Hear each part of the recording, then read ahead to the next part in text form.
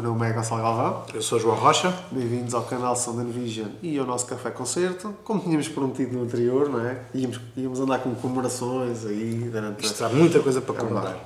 Viemos de uma, uma comemoração, mezanino, e, e hoje ahm, vamos retomar aqui nós no nosso primeiro vídeo, no nosso primeiro vídeo de Sound Vision, portanto quase, quase há, há um ano, Já com o 100 mesmo- vídeos depois. O tema sempre, o, o tema era mesmo, eh, girava à volta da mesma banda. Verdade. Portanto, nós no primeiro vídeo foi o Sgt. Peppers e nós hoje vimos aqui também aproveitar as comemorações e vamos falar deste grande disco, até porque já não fazíamos O este grande e o pequeno.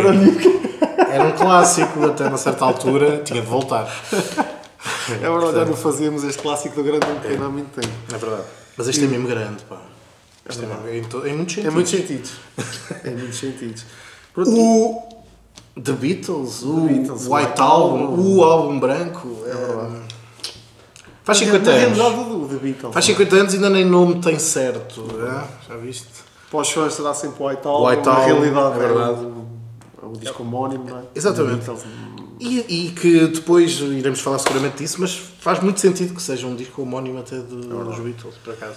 E por acaso nós começámos de facto o Sound Vision, portanto, basicamente como estava a dizer quase há um ano, para lá caminhamos, eh, com o Sgt. Peppers e eu acho que a melhor forma de hum, integrar historicamente este White Album se poderá ser pegar no, no, no fim da história do Sgt. Peppers, onde deixámos o vídeo. Nós a fazermos séries, pá. Eh, vamos deixar, vamos pegar no que nós deixámos. E nós nisso também estávamos a ver só que era vinho. Até isso, até isso está, está a bater também. É verdade. Isto também, em parte, também é vinho. É uma bela de uma É jurpiguinha. verdade. Uh, portanto, e acho que é interessante nós pegarmos onde deixámos o, o outro vídeo, até porque eu acho que tem muito a ver e enquadrar historicamente este, este disco com base nessa época, porque acho que tudo o que aconteceu pós Sgt. Peppers influenciou muito o que foi este, este White Album, quer musicalmente, quer até pessoalmente, com a quantidade de coisas que aconteceram a cada um deles e os, e os momentos em que cada um deles cada um deles viveu, portanto eu acho que faz muito sentido nós pegarmos na, na história. Hum, e, e depois desse brilhante disco do é uma, há uma sequência aqui pronto, histórica, mas para além da sequência histórica também há, importa eh, falar do Sgt. Peppers porque estamos aqui se calhar na antítese do Sgt. Sim, Peppers e e, e algo que vem quase a responder a tudo o que o Sgt. Peppers trouxe aos Beatles. é? Portanto, foi um disco já histórico, não é? Com, com, com uma, que trouxe uma revolução a nível musical e principalmente também para os Beatles, onde, hum, se calhar, contrariamente ao que muita gente esperaria, uh, pronto, os Beatles eram sempre, era sempre sucessos, mas se calhar o Sgt. Peppers trouxe um sucesso ainda maior que se calhar nem eles esperariam, exato. Para além, para além daquilo que eles Foi, passaram. foi uma revolução musical e, mais do que isso, cultural. Foi um disco com uma importância extraordinária. logo na época como um dos discos mais importantes do rock, eh, que causava logo uma pressão enorme sobre a banda, ainda hoje é considerado um dos discos mais importantes da história da música, eh, com muito experimentalismo dentro do, do, do disco, quer musicalmente, quer em estúdio, tudo aqueles que eles fizeram, e todo ele muito grandioso, todas Uma- as uma faixas, grande toda- produção. grande produção, que vai um bocadinho ao contrário depois do que vai acontecer aqui no, no, É no White Album e para além de que nessa altura acho que a família Beatles estava toda muito unida e toda a trabalhar para o mesmo Sim, sim, um bocadinho também o contrário do que aconteceu neste, eh, neste White Album Eh, A história divide-se um bocadinho sobre esse aspecto, mas sim, essa, essa é a versão corrente. Pelo menos aquilo que visivelmente temos no Era- álbum é uma certa divisão, não é? Mas a história, há vários tipos de histórias sobre como é que os Beatles estavam exatamente neste período da gravação. Há quem diga que até foi uma altura em que até colaboraram, apesar de, apesar de eu acho que tudo. não foi assim tão fácil dos Sim, relatos não- que eu sempre, não, me- sempre me seguramente habituei a não ler foi, seguramente não foi. acho que até foi bastante co- complexo e, e, pronto, e depois de largarem aqui é que é a parte, por isso é que eu achei interessante pegar na parte do, do Sgt. Peppers para além de enquadrar toda esta fórmula do Sgt. Peppers versus depois do que vai ser o White Album o que é certo e verdade é que depois o- os Beatles acho que já não depois daquela coisa toda mais uma vez de voltarem àquela grandiosidade toda e estar toda a gente de olhos postos no- nos Beatles eles fazem aquela famosa atuação na, na BPC que é transmitida em direto para milhões e milhões de pessoas onde eles contrariam tudo o que o Sgt. Peppers era. Portanto, que eles contrariam de uma forma minimal, onde basicamente estão eles uh, quase despidos de grandes ornamentos, é só eles com, o seu, com a sua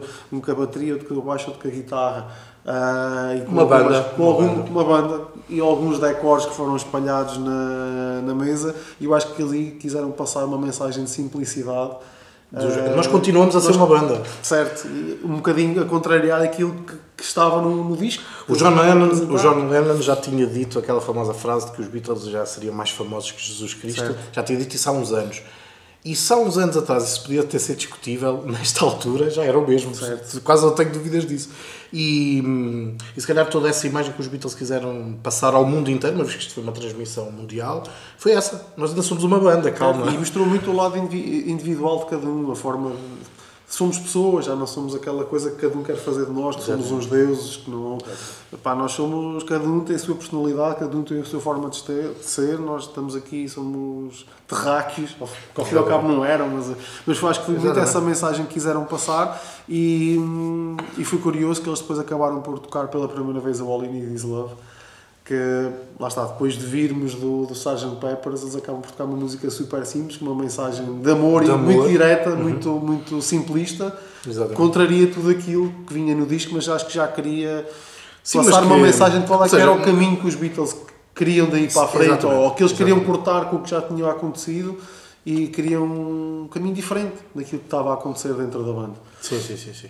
Isso, isso, bem, então se pensarmos que, aliás, toda a carreira dos Beatles ter sido tão curta e quando pensamos em toda a riqueza que há em termos musicais nos Beatles em tão pouco, em curto espaço de tempo, epá, mas se há uma mudança extraordinária nos Beatles é imaginar que o Sgt. Pepper saiu com menos de um ano antes do White Album. Isto parece, o White Album parece um disco da mesma banda do Sgt. Peppers, mas 10 anos depois, ou mais, ou mais, ou até menos, até podia ser o álbum de início de carreira dessa banda. Epá, é, e é um pouco a magia deste disco, que vamos falar agora seguramente, mas tem muito por onde pegar.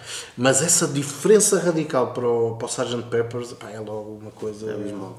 É abismal, exatamente. Eu acho que aí já estava muito na acho que cada um dos elementos já estava muito focado um pouco em si próprio, na coisa mais de, de se ligarem às famílias, às pessoas. Pronto, aquilo que falamos no outro vídeo já não tocavam ao vivo. Já não, já tocavam ao vivo, acho que havia uma procura maior da, da felicidade de cada um, em vez daquela loucura toda que, que absorvia completamente cada uma das almas italianas. Uh, e isso vem um bocadinho ao encontro de, ou essa procura interna de cada um deles em 67 acaba por, por esbarrar quando conhece de facto aquele guru indiano Maharishi Yogi um, Exatamente. que acho que vem aqui no, naquela fase em que eles procuravam isso quase que ser um complemento ou um, uma chamada de alguém para aquilo que eles de facto eles precisavam eles andavam em busca de qualquer coisa e eu acho que foi a primeira acho coisa que, que nós conseguimos imaginar o que era ser os Beatles naquela altura a responsabilidade a pressão o peso de todos os olhares. Uh, pá, e, e, os Beatles tiveram necessidade de se unir a qualquer coisa e de encontrar qualquer coisa.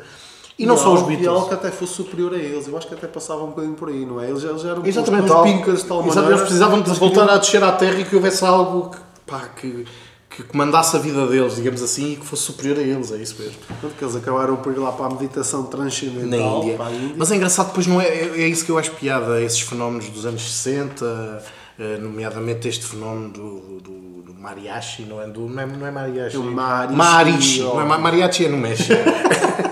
Este, este, também tinha a ver com música, mas não era, não era, não, não era mariachi. Pronto, o mariachi, eh, estes fenómenos eh, pá, continuam a existir no mundo, obviamente de seitas. Agora, aqui o curioso foi que este, este movimento atraiu muita gente famosa. Por exemplo, o grupo, os Beatles não estavam propriamente num grupo de de pessoas uh, anónimas. Não, tínhamos lá o Mike Love dos Beach Boys, tínhamos lá a Mia Farrow e a, a sua irmã Uh, muito importante também para este disco, uh, a sua irmã Prudence, Prudence. Prudence Farrow. Eu estava agora aqui. Eu estava a ver o nome dela também. Pronto, a Prudence uh, Farrow e tínhamos o Donovan, que também terá tido alguma importância em algumas coisas deste disco. Aliás, tem muita importância. Ganhar muita. e portanto, era, era, isto atraía muitas pessoas famosas que provavelmente viam ali uma maneira de escapar à pressão da, da, da opinião pública e de e da fama, não é? E os Beatles foram para lá, uh, pá, nem tudo terá corrido bem, não é? Mas. Aliás, logo numa fase inicial correu mal, porque dois dias depois dos Beatles lá estarem, morre um dos grandes guardas dos Beatles. Que também terá tido muita influência no álbum Break e, e se calhar é, é uma questão que muitas vezes é um bocadinho subvalorizada. Eu acho que isso, isso contribui muito, se calhar, para o estado de espírito que este disco tem. Portanto, quando morreu o Brian Epstein, Que era uma espécie de guru da banda, que tratava de todos os negócios da banda, era um tudo, amigo. Tudo, tudo passava por ele e acima de tudo era o que eu ia dizer, mas acima de tudo era um grande amigo e companheiro. Uh, aliás, nós falámos disso no Sgt. Peppers, que há quem o ponha inclusivamente como o quinto Beatle, há quem Exatamente. ponha mais o, o produtor do, dos Beatles como o quinto pois. Beatle, eu também tenho a minha opinião e passei no Sgt. Pepper, para uhum. mim George Martin é o quinto Beatle, uhum. mas há muita gente que, até pela amizade que ele tinha com, com cada um dos elementos da banda, punha o Brian de facto como uh, o testa de ferro da, da banda. Ou, que, pelo menos, que, seguramente, uma personalidade que foi essencial para os Beatles terem sido os Beatles. Certo, e que de facto, eles, dois dias depois de eles estarem na Índia, uh, dá-se a morte então do, do, do Brian e que isto teve um impacto brutal na banda. Uh, uhum facto pela importância profissional que ele tinha a nível da organização, coordenação e até isso é uma, uma das coisas de uma das grandes mais-valias que se fala em relação ao trabalho dele, da forma como ele geria cada um dos egos e unia a, a banda em torno de. Portanto, acabava por acalmar um cimento ali, sem dúvida. Uh, e por esse lado, e por, também por esse lado pessoal, inclusive o John Lennon acabou por uh, falar algumas vezes sobre isso e que ele que ficou completamente arrasado após saber a notícia da, morte do, do, do Brian. Um, o que é certo e verdade é que antes até aí a origem de tudo isto. Sim, e acho que é aí o arranque da origem de tudo isto, apesar que eles ainda assim conseguiram se unir e, e acabou por sair o Magical Mystery Tour, ainda nesse ano. Portanto, eles conseguiram fazer o filme e a banda poucas, sonora. Poucas faixas novas, não, não, é? Mas que acabou por dar ali um sinal que a banda não iria acabar com, uhum. com o desaparecimento do, do Brian, portanto eles quiseram continuar a fazer, portanto, sim, o filme e a, e a própria banda sonora. Logo de seguida, que vem outro facto antes de chegarmos a este disco que eu acho que é tão importante como a morte do Brian, que é quando os Beatles decidem ter a sua própria editora e criam a Apple. Um, porque eles a partir daí uh, acabam por uh, ganhar ali um trabalho extra, principalmente o Paul McCartney, que ele era quem administrava basicamente toda a empresa da Apple Music. Sim, e que... Ganharam liberdade em parte porque deixavam de estar presos a editoras e a editora era deles. Certo. Mas ganharam, porque uma editora que tem os Beatles. Certo. O, é, facto, é, logo uma. Nasce e é logo já uma major. Há muitos relatos que de facto o Paul McCartney ficou muito absorvido por esse trabalho Sim. e que levou a um aumento do descontentamento em relação ao resto da banda, porque ele deixou de fazer aquilo que gostava que era Exato. criar música e tocar. E passou-se a ter passou concentrar nos negócios. A Mas até aí a morte do Brian Epstein é, é curiosa e, é, e, revela a importância que teve, provavelmente, até no final dos Beatles, porque uh, imaginemos que a Apple Corps era criada e que o Brian Epstein até tinha ficado com essa parte do negócio. E tinha libertado o Se calhar, exatamente, o próprio Paul McCartney, quando sai dos Beatles, apresenta essa como uma das razões. Ele já, ele já não era só um músico, ele já era quase um, um economista, um gestor, e ele queria se dedicar à música, e assim não conseguia. E, portanto, faltou-lhes, eu a partir de uma certa altura, o Brian Epstein fez-lhes falta em muitos aspectos mas com a criação da Apple e o facto da Apple nunca se ter conseguido instituir como uma empresa autónoma que podia viver sem a gestão dos Beatles diretamente, fez com que se calhar eles tivessem problemas acrescidos porque a música já não era o centro de tudo. E depois vem aqui um terceiro ponto que hum, pode também ter influenciado negativamente depois para, para a banda e que também depois levou a este uh, White Album, que também é importante para a história, que apesar que aqui já não há tanto consenso em relação a isso, que é a questão do aparecimento da Yoko Ono. Da Yoko Ono, pois. Uh, tanto que uh, levou aqui alguns problemas com, com, no casamento do John Lennon, portanto levou aqui a alguns atritos e que já vamos falar nisso, que depois levou a uma. Aparentemente o casamento dele já estava em crise antes de aparecer a Yoko Ono, não é? Mas, mas, mas é sempre uma, uma fase, carga pesada. E é sempre uma fase de mudança grande numa pessoa. Acaba falar, uma relação e começa outra. Certo. É porque estamos a falar, eles, eles a seguir voltam à Índia, logo após então estes acontecimentos todos, a banda volta à Índia. Uh, e que, acima de tudo, e isso funcionou, independentemente de tudo que se possa apontar, ou depois dos acontecimentos que aconteceram a seguir uh, neste retiro, mas numa fase inicial acho que uniu muito, uniu muito o grupo, acho que houve um trabalho criativo muito grande, até por grande parte deste disco, e por isso é que eu quis enquadrar a história para chegar agora aqui, porque muito parte, grande parte das, das músicas que foram que foram gravadas depois para este White Album já vieram deste, deste retiro espiritual que eles fizeram na Índia. Uh, e que eles deu de facto para trazer muito material já, já pronto, já muitas pronto, ideias, sim, sim, sim. apesar que nós sabemos, por exemplo, o Ringo Starr teve lá muito pouco tempo. Uh, Mac diga teve muito pouco tempo neste disco. E neste disco também teve muito pouco tempo.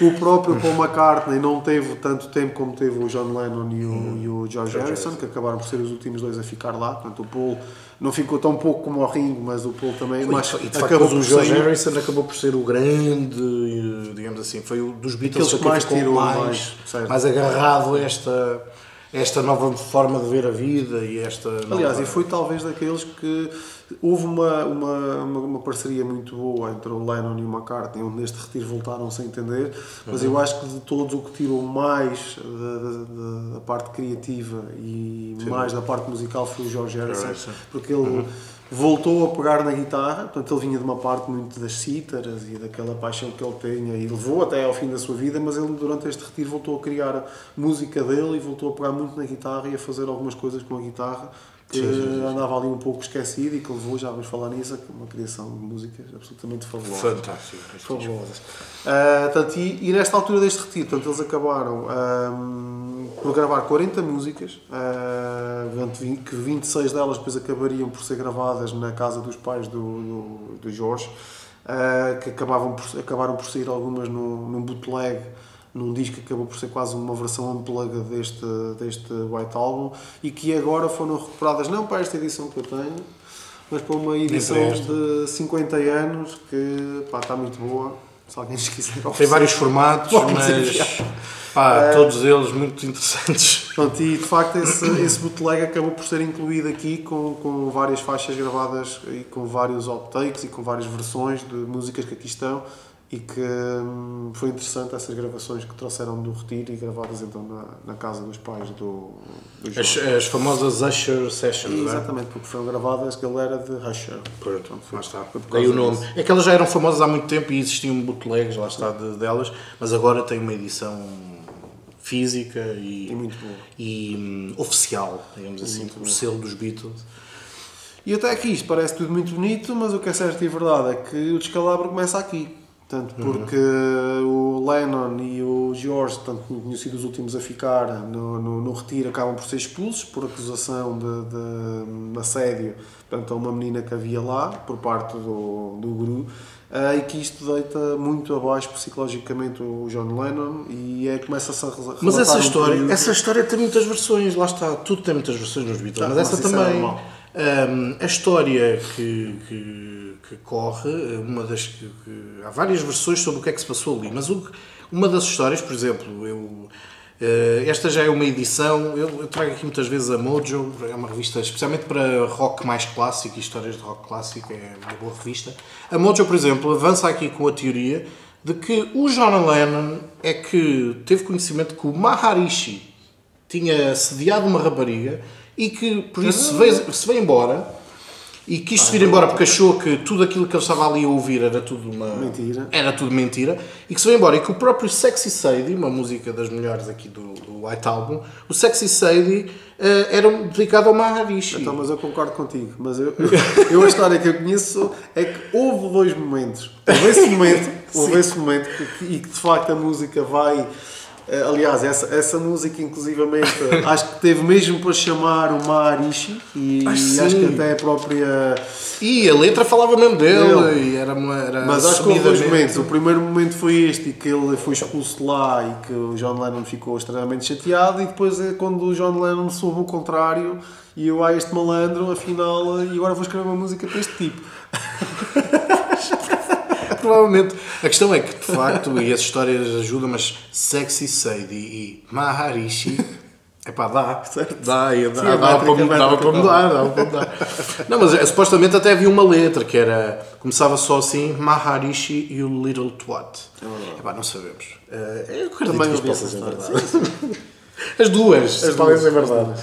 Portanto, eu também tenho aqui essa história. Portanto, eu ia, ia contar essa mais à frente porque há duas. Isto é, isto é os Beatles, Os assim, Beatles é isto, é assim. um manancial de lendas e realidade e ficção e tudo misturado. Mas pronto, é, isto seja verdade ou não, o que é certo e verdade é que este período da vinda pós-Índia foi um período conturbado para o John Lennon. Portanto, muitas Sim, sim, sim, drogas, abuso de álcool, ele andou um bocado perdido, digamos assim, inclusive isto deteriorou muito o relacionamento com os restantes colegas e, e depois em gravação ah, foi um período extremamente conturbado, porque acho que havia alturas que que o próprio Paul McCartney se irritava extremamente com o John Lennon porque ele não tinha condições para, para, para estar a gravar. Portanto, há muitos relatos de, dessas más condições do John Lennon para, o para a gravação. exatamente. Ah, portanto, houve a tal questão do Paul então estar a assumir-se quase como manager ou gestor de, de, de empresa. Exatamente. Portanto, e tivemos a questão depois do George Harrison começar também com, em trabalhos paralelos, a trabalhar com, com outros músicos, Uhum. onde acabou por lançar alguns, alguns discos em, em parceria. Ah, e começa-se então a pensar voltar, ah, com estes problemas todos, começa-se então a pensar voltar a estúdio num período onde começa aqui acho que uma batalha de egos. Depois faz parte, na minha opinião, está muito visível na- neste, neste disco. Há, hum, que veio dificuldade-se de facto bastante as gravações deste, deste, deste White Album. Hum, cada um queria puxar um bocadinho para o seu lado. Eu acho que cada um já se assumia como uma força maior da, da Epá, própria banda, era, tirando hum, o ringue, talvez, talvez se o manteve sempre sim, no sim, cantinho dele. Sempre. Mas o também George por isso, se calhar também por, isso, por este também ter sido um álbum que acabou por se, se desenvolver assim, não é? De- Sim, ele foi é, é assim quase, construído. é, um- é quase um disco com um apanhado dos primeiros álbuns a solos de cada um deles, imaginemos. Sim, que- ou seja, os álbuns a solo estavam a caminho, isso não há dúvida quando ouvimos o disco. Ah, e, o, e se calhar isso explica porque é que o Ringo Starr até foi o primeiro a abandonar a banda assim, pá, porque deve ter achado num contexto destes em que cada um estava a trabalhar as suas músicas, cada um tinha as suas músicas, pá, nesse contexto, aquele que contribui com menos músicas sente-se fora. Fora. E o Ringo Starr sentiu-se fora e provavelmente, se calhar todos já se sentiam fora. Sim, sim. Também é Aliás, nós todos já sentiam fora que eles chegaram a, a estar a trabalhar em três estúdios diferentes. Três estúdios diferentes. Cada um a seu estúdio, excepto o Ringo, que ficou. Pá, que se ia batendo um pouco por todos. E, e às vezes nem isso, porque há, há muitas faixas de Há bateria que pelo são tocadas pelo, pelo Paul McCartney. Exatamente. Portanto, houve coisas que ele acabou mesmo. Aliás, o Paul chegou na- na- a expulsar, entre aspas, o Ringo, porque ele dizia que era um, um melancha, era um, que, não, que não sabia tocar, não sabia, não sabia tocar bateria. Acho que o Ringo se chateou, foi-se embora.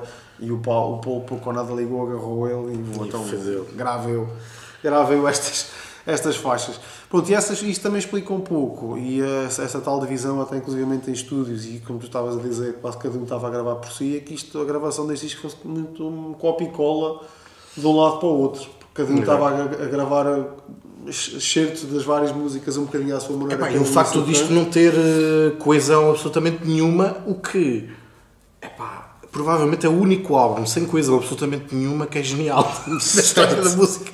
Pá, isto são milagres, provavelmente só os Beatles conseguiriam, mas isto é. Epá, por exemplo, há uma banda pá, contemporânea dos Beatles, os Pink Floyd, também tem, tiveram uma experiência parecida com o White Album, que foi o Uma Guma. Mas que não, não, Epá, mas que está a anos-luz, a anos-luz do brilhantismo deste disco, calma. Mas o Maguma também foi um pouco isso, a banda estava naquela fase a seguir ao Sid sabia muito Barrett, bem é que sabia muito bem por onde ir.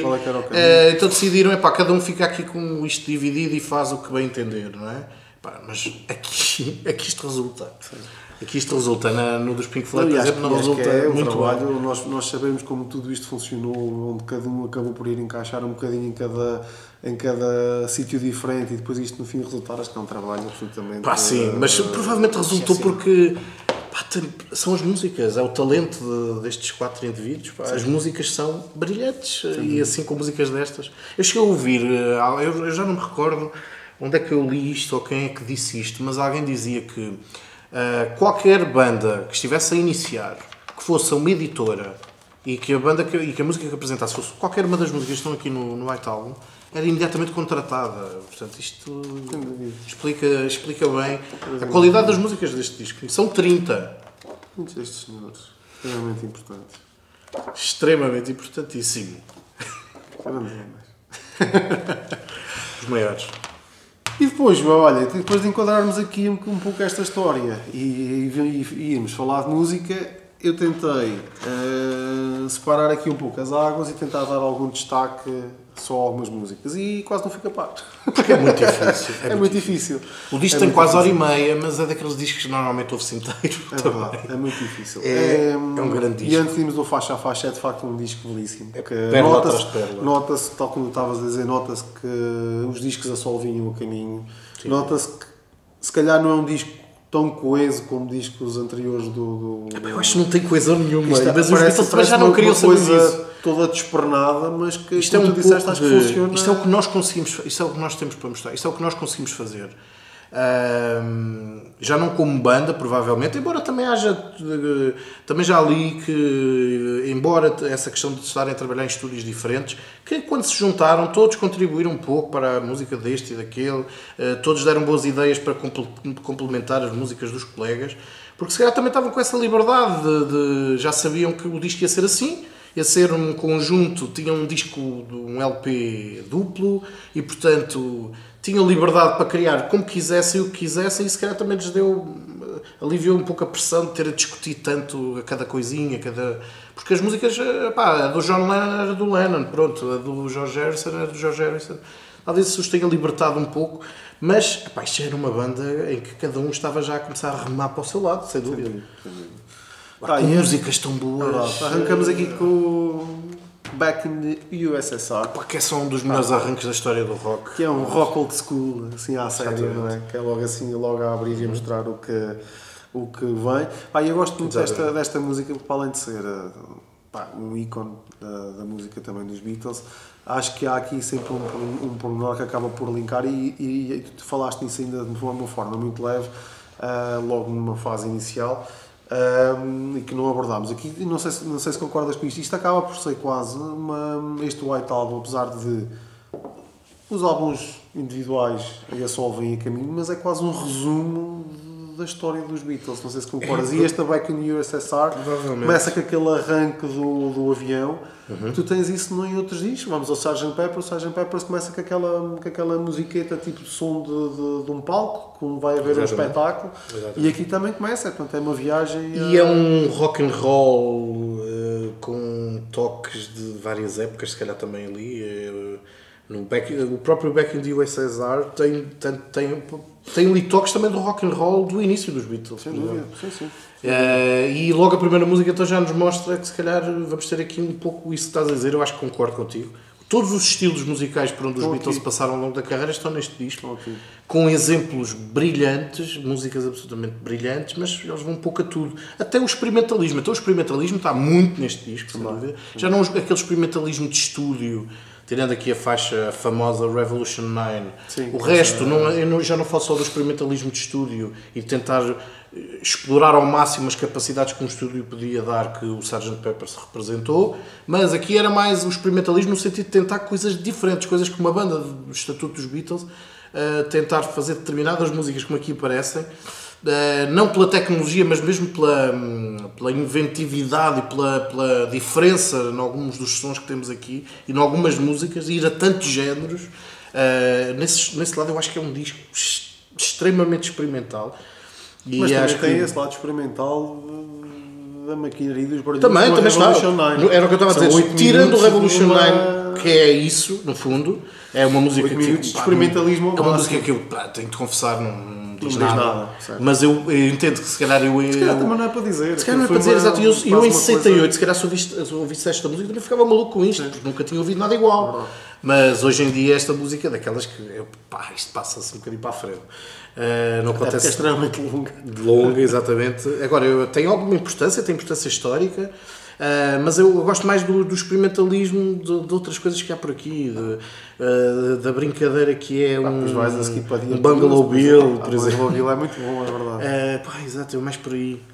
É nesse aspecto que eu, que eu acho que o disco é muito importante. Agora, concordo plenamente, é quase um resumo Da, da matéria até ali. um bocadinho de tudo. É verdade. Pá, depois temos a Dear Prudence, eh, pá, uma guitarra fabulosa do, do Jorge A guitarra é Harrison. fabulosa, a linha de baixo que entra quase a meia é fabulosa, é tudo o que é que não é fabuloso no Digo Prudence. É sobre, lá está, mais uma das músicas que tem ligação foi- àquela e experiência foi, na Índia. Foi, foi criada lá. Foi criada na Índia e falava era da tal irmã, do, a irmã da Mia Farrow, não é? e era colega do John lá na. Parece que era uma senhora com bastante problemática e com muitos, muitos muitas issues.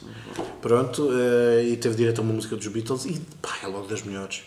Pá, a Glass Union tem. Pá, lá está, também recupera muito das músicas do, para trás do. do A Glass Onion, na minha opinião, Do- até, podia estar, até podia estar e depois do início do disco há aqui uma música que nos remete outra vez para o Sgt. Peppers. É das poucas que remete Até pelos o arranjos. Glass Onion, pelos arranjos, exatamente. Eh, isto também é também interessante, ainda não falámos dessa questão, mas eh, aquele que provavelmente poderá ter sido o quinto Beatle, não é? o George Martin, detestava este disco. e teve uma participação bastante menor neste disco do que, do que nos anteriores. Ehm, ele- em primeiro lugar, ele nunca concordou que o disco fosse duplo. Achava que era, tinha muita coisa aqui. Isso sempre foi. Isto é uma discussão de, de- de gerações já, de, de um disco com 50 anos. Sempre se discutiu essa questão. O seu álbum branco não seria muito melhor disco tirando as que as pessoas não gostam. O problema é que as que as pessoas não gostam eh, vão variando. Há pessoas que não gostam desta, não É gostam daquela. Epá, e é. o álbum branco. eh, e uma das magias deste disco é um pouco essa, é um caos disto, é o não haver grande coesão ou nenhuma, e acho que por isso isso também resulta muito. A quantidade de pérolas que temos neste caos, isto funciona muito. Se fosse só um conjunto de pérolas, calhar não era tão interessante. Sem dúvida. Concordo com Não sei, mas esta do George Martin, porque é que falar do George Martin? Porque de facto tem um arranjo de cordas que foi o. Eles estavam com alguma dificuldade em perceber muito bem o que é que podiam fazer mais com esta música e o George Martin criou um arranjo de cordas também um bocadinho, não muito convencional, mas que nos remete logo para a sonoridade do Sgt. Peppers, das coisas mais estranhas se calhar do Sgt. E Peppers. fez um grande trabalho de arranjo na, na Good Night. Ah, pá, sim, aí, mas aí já é um arranjo clássico, lindíssimo. Mas ela- Adoro Good Night. Embora seja uma música é um final, pá, triste e até um eh, bocadinho arrepiante, depois É um, é um final. Mas também é onde eu tantas teorias, já vamos falar. Essa, é um essa mais famoso. para a frente, que é para ver o que é que tu achas também. Final, por acaso, até concordo. E como eu disse, portanto, eu não fui capaz de saltar muitas coisas. E Pois vem o Oblada, Obladi, pá. não podemos saltar. Pá, que é uma música muito mal amada dos Beatles, que eu acho absolutamente brilhante. É verdade. É um pop contagiante, fabuloso, Eu acho, que era, divertido. eu acho que até era mais mal amado entre eles, porque ninguém queria, calhar. só o Paul é que queria. Só o Paul é querido, mas o Paul, o Paul é o mestre da melodia. Isto é melodioso. Eu comecei a aprender Beatles com, com coisas mais antigas, é verdade, mas assim das mais recentes ficou a Obladi Oblada. Epá, e o Donovan, o famoso Donovan, que falámos há pouco, também estava lá na Índia, diz que eh, ele reconheceu alguns dos temas das músicas que estão aqui no, no White- no White Album remetem muito para, hum, para a simplicidade da infância. Por exemplo, o Oblada e Oblada me parece uma coisa quase cantada por crianças. Ah, e há outras músicas aqui ah, a lembrar, até as próprias letras falam de questões da infância, como Martha My Dear e uma série de outras músicas. E ele diz que este, e, o- ou o Bungalow Bill, também dizer, parece quase um genérico de uma. parece um exatamente, parece aventuras de criança. E ele diz que isso é interessante porque era precisamente o que o Maharishi fazia, ou seja, fazia com que eles tentassem, na meditação, regressar à inocência da infância. E isso fazia com que eles, naquele tempo em que estiveram por lá, pensassem muito na infância. E como ao mesmo tempo estavam a criar música, é normal que a música também fique ou mais simples, ou até mesmo quase infantil, na, na- quer na temática, quer na, na sonoridade, seja lá o que for, o oblada e oblada, podia ser cantado por um bebê, quase. Sim, sem dúvida. E lá está a experiência E de o Bungalow Bill também, mais uma mais uma vez. vez, Exato, o Bungalow parece Bill parece só um genérico de uns desenhos animados com o Bungalow Bill. É, sei. parecia assim, parecia- pareciam desenhos animados de coboiada. Exato, exatamente. Exatamente. É, Pá, pá, e depois a seguir, todas, e depois a pá. seguir eh, vamos aqui. Pá, Wild Honey Pipe vamos saltar, Temos que é uma coisita a brincar. O Bungalow Bill já falámos. Bungalow Bill, exato. Pá, Mas depois a seguir para vamos para uma coisa... aqui para tudo, temos travão na é coisa. e agora vamos falar de... Pá, É só uma das é. melhores músicas de todos os tempos. é verdade. Concordo contigo.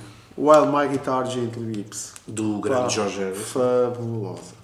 É uma música perfeita.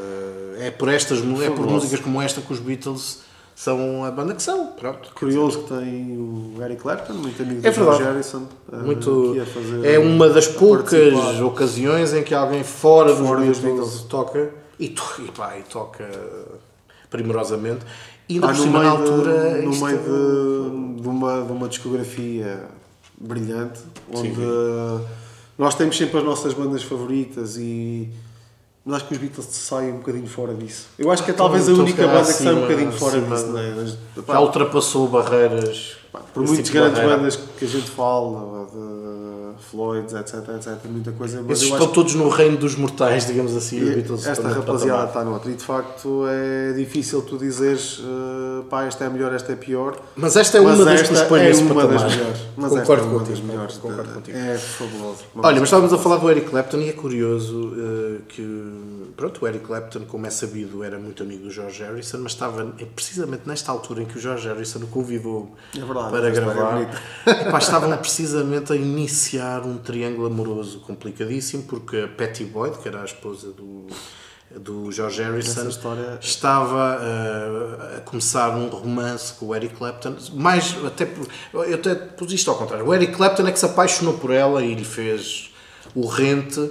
Epá, e, e, e não se sabe, ainda hoje o, o Eric Clapton não, não, não- tem a certeza absoluta se quando o George Harrison o convidou para tocar se, se desconfiaria de alguma coisa, se não. Porque depois, passado meses, muito poucos meses depois do disco sair, tornou-se óbvio que isso era assim, porque a Patty Boyd depois até, penso que se casou até mesmo com, com Isso o é Eric interessante, Clapton. está muito interessante no, no documentário sobre o George Sobre o George Harrison, exatamente. aparece o próprio Eric Clapton a falar, a falar dessa questão, a dessa falar com mágoa, porque isso não estragou a amizade deles. Ou seja, durante um tempo, sim, foi um motivo de, de conflito entre eles, obviamente, mas ah, epá, depois eles recuperaram dessa questão e o Eric Clapton foi amigo até, até à morte do, do, do George Harrison, inclusive naquele famoso Concert for George, de, de homenagem no Royal Albert Hall em 2001, penso eu, ou em 2002. Nesse concerto, o mentor do espetáculo, digamos assim, Uh, foi o George Harrison com o Danny Harrison, o filho do George Harrison, foi o, O Eric Clapton, com o Danny Harrison, que ainda era muito garoto e portanto não tinha pedalada para toda a constelação de estrelas que participou nesse concerto, e quem foi de facto o grande organizador foi o Eric Clapton, porque não só na música, mas também na vida teria sido um dos grandes amigos do, do George Harrison. E pronto, epá, eu me... o que é que se pode dizer mais desta música? Ah, é, fabulosa. Mais que mais nada. é lindíssima, é lindíssima, é fabulosa, é Mas uma a seguir também vem outra música fabulosa. É pá, sim. Não é? Happiness is a Worm Gun. Esta já, esta, esta é do Lennon, não é? Mas esta já num registro muito mais experimental, aliás, a própria música. dizer, aqui começa, é onde começas de facto isso. Eu, se nós falamos que este disco é um resumo da carreira dos Beatles, esta música é quase um resumo da carreira dos Beatles. Sim. Tem géneros, tem, Tem quase todos os géneros musicais lá metidos. É verdade. Pá, e é absolutamente brilhante. Grande brilhante. Grande música. Até o título é brilhante. Happiness is a warm gun. E depois a seguir continuamos sem conseguir saltar nada, porque vem a Marta Maidia, Pá, já tinhas estás a falado ver pouco. a diferença de estilos que há nestas e três tem uns arranjos de cordas também fabulosos. Sim, sim, sim. Uma grande, Marta grande música. Uma grande, grande música, muito bom. Ah, e saltamos a seguir para mais outra grande música, I'm So Tired. Também, muito boa. Pá, é um clima- Lennon puro. É um clima de embalo, não é? Com uns arranjos, mais uma vez, também eles muito bons. Exatamente, Ah, muito bom. Em que nós sentimos também um certo desespero e um certo É cansaço no John Lennon. Há quem diga que era cansaço da fama, também há quem diga que era porque o John Lennon estava então naquela fase que tu dizes, de, tinha acabado um casamento, as drogas, a noite, era por isso estava cansado. Aliás, a própria música, do, do que se diz muito, ah, foi exatamente aí, do I'm So Tired, acho que foi mesmo um desabafo do, do, do Lennon para, É. para tudo o que estava, tudo o que estava a acontecer. Exatamente. Pronto, e continuo sem conseguir saltar mais nenhuma, porque a seguir vamos para Blackbird. São uma das baladas mais bonitas É pá, tem um fabuloso. O Donovan diz que foi ele que assinou este dedilhado. Será possível? Epá, não sei, mas o que eu sei é que não foi que não, não foi, não foi o que fez. Não foi o que fez. Aliás, o Donovan era um, um artista bastante conhecido nesta altura. Mas, ó Donovan, onde é que tu já vais hoje em dia? Hoje em dia já ninguém se lembra de ti. Mas ele diz que ensinou este finger picking ao- até mais ao John Lennon e ao George Harrison, que o Paul McCartney, que, que era muito senhor do seu nariz e que não que mostrou muito interesse em aprender. Mas ele acha, está convencido que, pelo que ouviu no álbum branco, especialmente nesta música, depois o Paul McCartney foi pedir aos outros dois, é pá, ensinem-me lá. Diz isso." lá como é é. Exatamente, eu não fui capaz de pedir ao Donovan, mas vocês ensinem-me lá como é. Porque, pronto, este Blackbird é, É fabuloso. pá, uma música Pá, uma só excelente voz. acústica, não é? Excelente voz. Mas Pá, música muito, muito bonita. Linda. Muito, muito bonito. Depois vamos passar aqui para a parte Pink Floydiana do White Album, que é o Pidix. Entramos em terreno do Animals, É verdade, 10 anos antes, mais é verdade, aqui a antecipação do Animals. o e também é uma música bastante polémica. É verdade. por várias razões. Primeiro, porque havia muita gente que não entendeu muito bem a mensagem do que o George Harrison queria aqui dizer e acharam que isto parecia um gajo rico a falar de, do alto da sua riqueza, não é? A falar E a própria de... música é assim meio barroca, não é? Sim, Assim, parece que é um gozo a qualquer coisa e pronto, e a principal razão para, aí, para esta música ser eh, viver na infâmia, digamos assim, é que um idiota chamado Charles Manson achou que, epá, que esta música te falava com ele e que lhe estava a dar recados sobre coisas para fazer. Aliás, todo o álbum lhe dava recados, depois o Welter Skelter também lhe dava recados. Aliás, ele, o Alta Skelter ainda é pior. Ainda era pior, exato, mas o Matou- Peace também, matou- ele matou até escreveu. pessoas. porque Exatamente, ele fez o. O Alta aliás, Skelter disse para fazer isso. Pronto, e o Charles Manson eh, é um personagem bastante conhecido, eh, infelizmente, e vai ainda ficar mais conhecido porque para o ano vamos ter aí um- uma obra-prima, esperemos, um magnus opus do Quentin Tarantino que, que vai versar este, estes assassinatos, estas mortes de, pá, do, do Charles Manson e de- de- dos idiotas que andavam com ele. E, pá, e que os Beatles são tão grandes, depois dá para estas coisas, não é? Certo. Dá para estes fenómenos. Mensagens ali escondidas Exatamente. Para, para ele. É o que é. E não sei, não sei se concordas com isto, esta música. Estávamos a falar que há aqui um, um revoltar ao passado e acho que isto vem do revólver, chapado. Muito provavelmente. Sim, é? lá está. Lá está. Esta podemos levá-la para aí. Eh, todo, aliás, tudo isto está cheio destes pontos de referência que nos ligam à discografia anterior dos, dos Beatles. É verdade. A seguir, a seguir vamos. Rocky Raccoon, pá, também adoro. Pronto, é verdade. Eh, Acho deliciosa e uma história muito engraçada. E uma música também com um certo toque também um bocadinho infantil. É verdade. bem. Sim, que esta aqui, é que eu ia dizer, esta aqui, com base naquilo que tinhas falado, também é outra vez esse, esse Uhum. Pois, voltar. porque ao- era precisamente algo que eles estavam a pensar na altura, é normal que acontecesse assim. Depois a seguir passamos para Don't Pass Me By, Don't Epá, Pass Me By eh, que é que estamos a fechar. Nosso amigo Ringo Starr a mostrar que também É sabe. verdade, para fechar aqui a primeira. A primeira Essa é uma música parte quase de marinheiros cowboys. É o é o eu. Eu, eu acho que tu não precisavas. Se alguém que não conhecesse e me dissesse tens que adivinhar qual é a música do Ringo, eu acho que. É, Eu acho que esta. toda a gente- É pá, porque aquilo, aquilo é uma espécie de coisa, de música de marinheiros, mas também parece country ao mesmo tempo. Portanto, é- Eu acho, é- que, as- eu acho que as pessoas. não é das melhores coisas que há neste disco, embora seja engraçado e ouve-se é. bem e é curtinha, tudo bem. Mas pronto, para coisas curtinhas vem a seguir. É Eu gosto mais da que vem a seguir. A que vem a seguir, pá, vem uma bela voz do, do Paul, uma, voz, uma música puxar a forte, puxar forte. para o blues, ah, que é uma, também uma, uma bela música, sem dúvida nenhuma. Também gosto mais do que a anterior. Sim. E com uma letra muito complexa. Não, não é. São, são três linhas, mais ou menos. E não tem nada de, de estranho, quer dizer. Mas isto também nasceu na Índia, esta, porque foi a ver uns macaquinhos a brincar. foi a ver uns macaquinhos a brincar no meio da estrada que o Paul McCartney se lembrou de fazer uma música sobre uh, porque é que não o faziam na estrada, não é? Why don't we do it in the Simples. road? Epá, e é fantástico. Para quem inventar mais? é? Fantástico. Ah, I Will, que eu aqui até posso saltar, não sei se queres dizer alguma coisa. É, salta, podemos saltar, mas é, é muito bonita, mas esta faz lembrar então os Beatles de 62, Certo, parece o do princípio, disco, não é? parece aquelas Também baladinhas dos Beatles do também início. acho, também acho, também Nesse concordo. sentido é interessante e é bonitinha. Pronto. Pronto. E eu passei para a Júlia porque de facto tem uns diálogos absolutamente fantásticos. pá. Sim, sim, sim. E uma voz que traz-nos uma. E é, e é uma música bastante emocionante. É o John Lennon a falar para a sua falecida mãe. Ele Também. perdeu a mãe aos 17 anos. Pá, e uma é uma música música, com um clima muito, muito bonito, uma música até com uma, uma intensidade eh, pá, interessante. Eh, e acaba muito bem este primeiro lado do, é do White Album. E depois, a seguir passamos para. Vou já dizer também uma coisa, já aqui. Eu acho o primeiro lado do White Album todo ele praticamente brilhante, tirando se calhar ali o Don't Pass Me By. Sim. Eh, entramos no CD2 ou no disco 2, melhor falando, até. Pois eu estava aqui a fazer uma, uma É divisão mais diferente que eu tenho quatro- difícil, quatro acho partes. mais, é um disco, a segunda parte é um pouco mais experimental, depois tu tens quatro partes que ainda é, mas eu que essas últimas, essas últimas eh, Duas partes. partes epá, eu tenho mais dificuldade, sempre tenho aqui coisas fantásticas, Hum. mas eu sempre tive muita dificuldade com esta segunda, porque acho que o primeiro disco é muito superior, o primeiro lado, ou os primeiros dois lados, o disco 1, um, digamos assim, acho que é muito superior ao disco 2. Também tens aqui grandes músicas. Também. Na, aliás, agora já estou aqui já lá vamos. Vamos por aí fora, vamos por aí fora então a ver o que é que é bom, o que é que é mau. Para já, olha, voltando ao, ao que estavas a falar há pouco de música fácil, tens aqui a Birthday, para já o rock and É. roll de 50 e que a letra também não tem nada que, que Nada que enganar e é uma ótima música para dar os parabéns às pessoas e é um bom rock and roll. Olha que é o meu problema com esta música.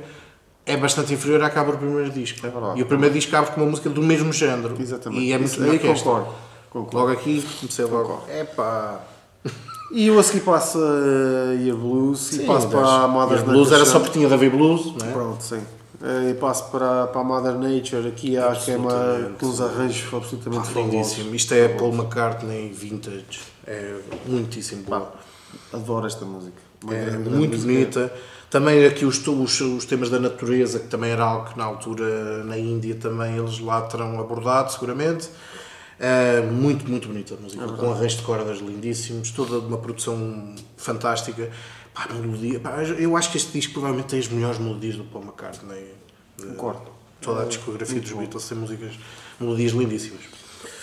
Eu a seguir a música dos macaquinhos. Eh, Eu gosto, por Tu gostas da música dos macaquinhos? Eu gosto da música dos macaquinhos.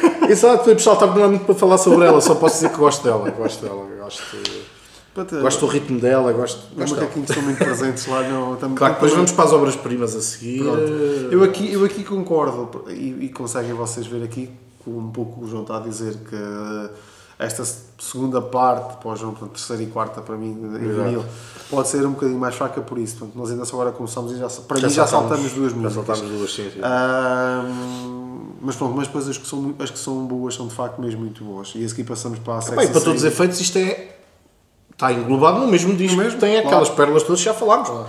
Agora, pronto, eu acho este lado, ou este segundo LP, hum, inferior. inferior. Embora também tenha coisas ah, muito experimentais e das mais experimentais da história dos Beatles. Já tinhas falado na Sexy Sadie, portanto já tinhas dado o recado lá para o. Este é, pronto, a seguir ao. Mother Nature, Mother Nature hum, Sun, a segunda obra-prima deste, deste segundo LP. gosto muito. E tem um piano fantástico, absolutamente fantástico. E é uma música assim um bocadinho. Lá está, há bocado falámos do que é que isto podia ser, podia ser para o Maharishi, mas é uma música assim com um venenozinho a macá, Lennon, sim, muito típico do Lennon, quando ele queria ser mauzinho, e, pá, e uma melodia absolutamente imbatível. Tá bom, tá bom. Uma produção muito bom, um piano muito bom, pá, brilhante. Fantástico. Pá, depois passamos para um clássico, Helter Skelter. Exatamente. Pá, não... Era a resposta do. Isto, curiosamente, é do McCartney. Uh, Muita uma gente música dizia tão que ele só cantava não é? musiquinhas Pois, de, exato. amor e musiquinhas de. Eh, eu penso que terá sido mais por isso que ele fez isto, embora ele diga que não. Ele diga que, ele diga que esta música era para tentar fazer a música rock mais ruidosa eh, que já se tinha ouvido, porque o Pete Townsend dos The Who tinha dito que Também tinha criado essa a música sim. mais ruidosa e o Paul McCartney disse: Não, não, nós é que vamos criar a música mais ruidosa. Mas eu acho que é mais por isso, é mais por isso que tu estás a dizer. Era para ele se libertar um pouco daquela imagem do menino bonito, É, é só só, faz as melodias mais, mais com os arranjinhos de cordinhas e verdade. com os pianinhos. E pá, isto de facto é selvagem, é quase heavy metal. Sim, sim. Foi os primórdios ali, não é? Sim, provavelmente. Isto, esta música deve ter influenciado a criação de imensas bandas de rock pesado e também influenciou aquele outro idiota que falámos há pouco. Que andou a matar as pessoas à conta desta É, música. conta desta Era esta música, é tinha verdade. as mensagens para ele matar pessoas. Era. Mas é uma música fantástica. Fantástica, eu adoro Helter Skelter. Muito boa. Pronto, eu a seguir, lá está, para dar aqui razão ao João, eu salto a Long Long Long. É, eu gosto dela. É, é muito serena, se calhar serena demais e se calhar grande demora um bocadinho de tempo. eu acho que é muito extensa. É muito extensa, mas é, mas é uma música que eu, quando era mais miúdo, não gostava nada. Também saltava, mas hoje em dia gosto mais. Não sei, eu, eu comecei a apreciar as músicas do Jorge. Eu, quando era mais novo, eu era muito mais do Lennon McCartney. Também eles é que tinham a principal. Eram os principais criadores dos Beatles, mas as músicas do George Harrison só comecei a apreciá-las verdadeiramente mais tarde. E esta é daquelas que eu comecei a gostar há poucos anos, a sério, e hoje em dia gosto muito dela. Pronto, saltava. Se tivesse que escolher para tentar reduzir aqui o nosso vídeo, eu saltava. Saltavas esta. Uh, mas não saltava a Revolution One. Uh, já acho, que tem é um, muito acho que tem um instrumental, meio também é blusado, mas temos um instrumental absolutamente fantástico. É uma é a banda a tocar muitíssimo bem, com, pá, cheio de força, uma grande música dos Beatles. Muito bom.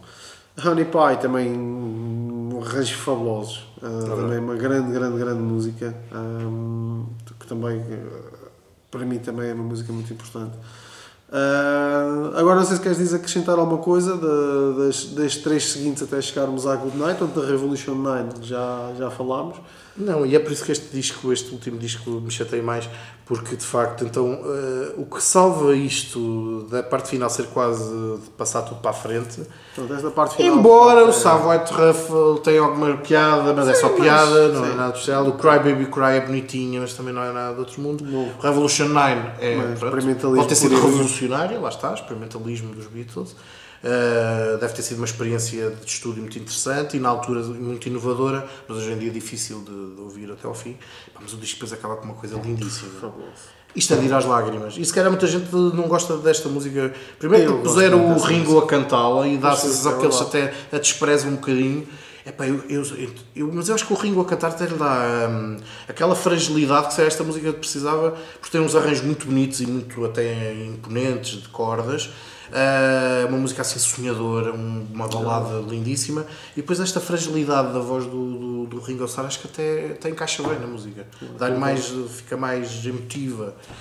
Mas epá, gostava de ouvir isto na voz de uma McCartney ou de um Lennon, não sei. Mas é, é lindíssimo. É muito bom. É muito bom. É fabuloso, absolutamente fabuloso. E dá a sensação de que é, parece os Beatles a dizer adeus, não é?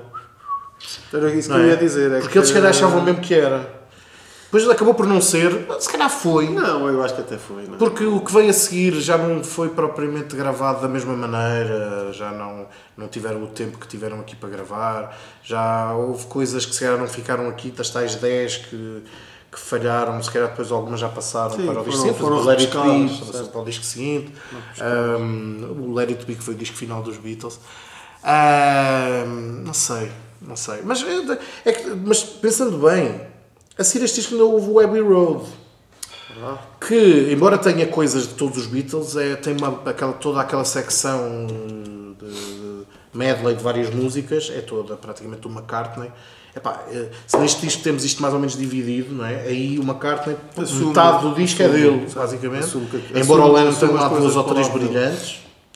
Uh, e o George Harrison também tenha uma brilhante, pelo menos. E, mas, epá, isto, os Beatles estavam convencidos que iam acabar. tudo indica. Quem, quem, faz esta música para, e a pôr no final do disco. Sim. A coisa chegou aqui ao fim. Sim, nós, isto acabou. E, e, a seguir, e a seguir, o disco que vem a seguir, basicamente, se fosse um disco só do Polo, não seria de estranhar. Não era, Porque embora haja lá boas músicas de outros, dos elementos da banda, mas pá, mais de metade do disco sim. é Paul McCartney. Ele assume quase os créditos todos para o lado dele e ele assume uma banda praticamente sozinha. Uh, portanto, se ele até lançasse aquilo só com Paul McCartney, não seria estranhar, acabaram por assumir e lançar como, como Beatles, como Beatles sim, sim. incluindo algumas músicas de facto dos restantes, dos restantes elementos, mas quem assumiu foi, foi, foi, foi Paul McCartney. Portanto, sim. É verdade, é, para mim esta Good Night acho que eles já estavam quase a assumir as despedidas. As despedidas, da, sim, sim. Dos Beatles, independentemente do que depois. Ah, ainda nos deram dois belíssimos discos. eu já lhe digo dois belíssimos discos. O Abbey Road é um belíssimo disco, o Let It Be é um conjunto de canções. canções Uh, onde eu acho que o Abbey Road ainda é um disco à séria. Eu acho que o Let It Be eu acho que já é um repescar de material que eles poderiam ter engafetado. O Let It Be tem uma música, por exemplo, há muita gente que não gosta que acha uma coisa muito melosa e muito Paul McCartney do Piorio, que eu acho lindíssimo e cada vez gosto mais dessa música, que é o The Long and Winding Road. Há quem não gosta dessa música. Eu gosto também. Também gosto. Também gosto. Aliás, este Good Night uh, tem, é um pouco nesse espírito, Sim. também com uns arranjos assim de cordas Sim. bonitos. E pronto, é uma música que fecha este disco com uma magia, é uma música quase de Natal. E nós até estamos na época. Estamos no Natal, podemos ouvir isto. Uh, exatamente. Uh, aliás, o disco em que altura que saiu já agora? Uh, foi em que altura do mês? Deixa lá ver se eu, tenho assim. Lá tem que mesmo data, data, data, não tenho. É, exatamente. vou já ver. Deixa eu ver se consigo ver. Bem, em julho de 68 ainda andava a gravar, pelo menos. Então, lá, onde é que está, onde é que está, onde é que? Não, isto fez agora. Estamos a à procura do dia. Uh, não, é o mês, uh, mesmo em que saiu, foi agora. Ah, mas foi agora, sim, fez ah, agora então, pronto, então se calhar o Good Night. Daí a estar a ter saído. O Good Night e até os arranjos que tem. Ter saído pode ter sido caixinha dos 50 anos. Pois, exato, saiu agora, exatamente. Uh, e portanto, este Good Night, se calhar até os arranjos que tem, terá sido já a pensar na época natalícia. É que isto é tão natalício. É verdade. Sabemos. Olha, o que sabemos é que isto é um belíssimo disco. Ah. E, Pá, o, o vídeo alongou-se mais um bocadinho porque, nós não, não, conseguimos saltar. Não conseguimos saltar muitas músicas, mas é de facto um disco absolutamente fabuloso. É. que, pá, são os Beatles, quer dizer, esta rapaziada está num patamar muito diferente. É, exatamente. de- Há best-ofs de bandas. tudo o resto. Eh, isto, isto, não sei, são 30 músicas. Há best-ofs de bandas com menos músicas conhecidas ou importantes do que isto tem. Eh, também vamos mostrar uma versão diferente, grande e pequena disto. Já Agora quero mostrar. É que esta é tão pequenina que eu não consigo quase ler as letras, afinal isto era. Pronto, isto lia-se. Vou desaparecer. Eu vou desaparecer, mas estamos no Estamos- Natal, tudo nos é permitido. Exato. As letras eram muito pequeninas, nós está lá as letras desse. As letras é para gajos como eu que vejo mal. Por Pronto. isso é que eu tenho estes óculos. Era, eu assim já conseguia ler isso e conseguia Maravilha. tapar com, se tivesse frio, conseguia fazer muita coisa com isso. Isto não. Pronto, e vemos aqui, eu estou também só, só estou a mostrar isto. Ahm, e indo um bocadinho ao encontro daquilo que nós fomos falando, qual, é o, qual foi o ambiente deste disco e como é que ele foi criado e São como- fotografias individuais mais, não é? foto- fotografias individuais e, e a remeter muito para quando eles eram bastante mais jovens em Mais relação jovens, ao é período do disco, a tal coisa de voltar ao passado e voltar a... Eh, Analisar a vida passada, não é? Pronto, e isso de facto é muito visível aqui. Esse individualismo, tu se fores a ver, quase não tens, ou não tens, tens aqui uma coisinha pequenina deles enquanto banda. Sim, exatamente. Mas, Mas é- há muito pouco. Trabalhos, eles a E aparecer. eles sozinhos, sim. Sozinhos. Ou sozinhos ou com, com namoradas ou esposas. eh, Por isso é que eu Já aparecia a Yoko, nós não falámos muito da questão da Yoko e eu acho que, Ah, eu acho que não... não- temos de falar porque a Yoko Ono nesta altura estava a começar a relação com o John Lennon. Se ela teve alguma influência negativa na banda terá sido, se calhar aqui que nasceu, mas isso reflete-se mais tarde. Eu penso que não neste disco. Tens, tens aqui uma, uma, uma foto Sim, uma foto porque ela dela. acompanhou muito das gravações. Em julho de 29 de 68, em 29 de julho de 68, ela estava por lá, lá está.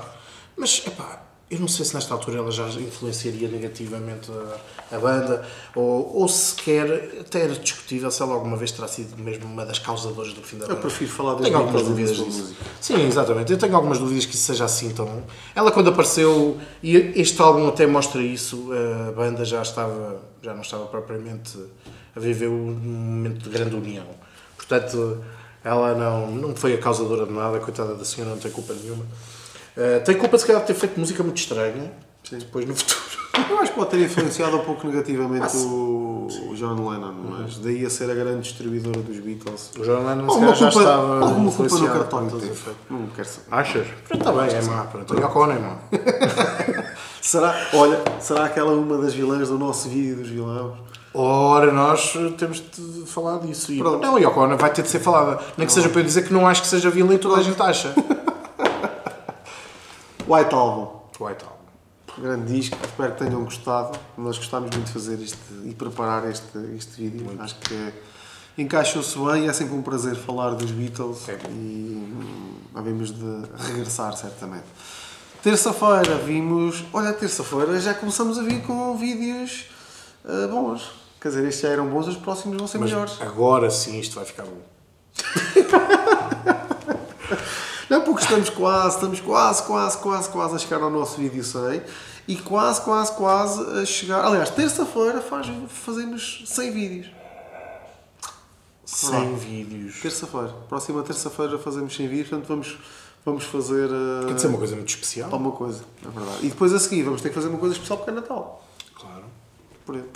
Vamos ouvir esta. Isto Olha, agora- vamos agora é fazer um vídeo a ouvir, uh, ouvir o, o disco.